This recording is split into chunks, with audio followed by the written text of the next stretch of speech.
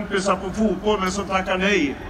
Därför att han är lite osäker på att han har råd med en måltid som han tänker ta efter fotbollsmatchen. Den kan också svara. Han kan svara på vad otrygghet faktiskt innebär i form av osäkerhet och ensamhet. Eller den unga kvinna som känner barnet röra sig där i magen och ser fram emot det med sån lycka och med sån förhoppning och samtidigt vet att det är kris på förlossningsavdelningen. Hon kan svara också på vad otrygghet faktiskt innebär, för hon känner det med varenda spark. Vänner, för hans trygghet, för hennes trygghet, för allas vår trygghet. Det är därför vi ska söka mandatet i höst igen. Vi ska göra allt för att vinna valet i höst.